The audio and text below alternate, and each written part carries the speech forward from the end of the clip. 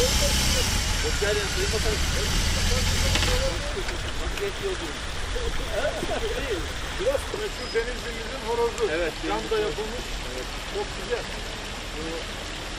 Sevgili saatimiz yaptı. 7 bin Bir grubu var. Onlar izliyorlar. Onun için bizim ekonomi zirvesini falan bütün iş adamları, sanayiciler.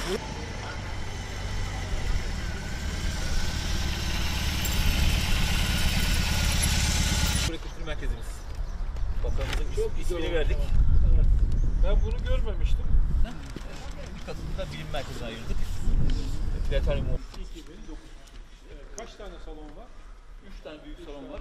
5 Toplam, kişilik, 1000 toplam kişilik. kaç kişi? Arkadaşlarım ya. Onlar Şey yapmayalım, onları şimdi katmayalım, ses göstermeyelim bakalım. Denizli'nin kültürlü insanları biliyor. Olacak çok Tam güzel. hızımızı almıştık. Salgın çıktı. Ee,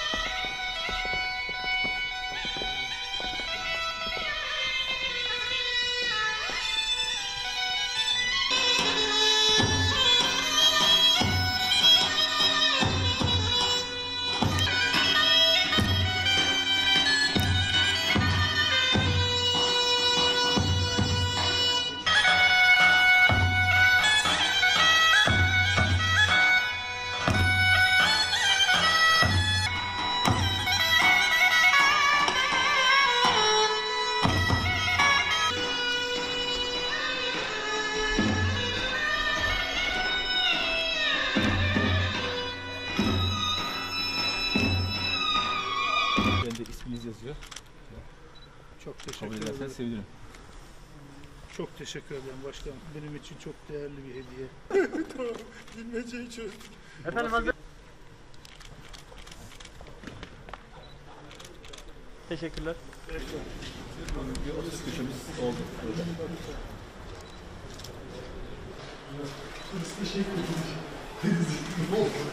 Kongre merkezinin bulunduğu şey, park. Ettiğiniz zaman yapabileceğiniz bir şey varsa ama onun dışında şey yapamıyorsun.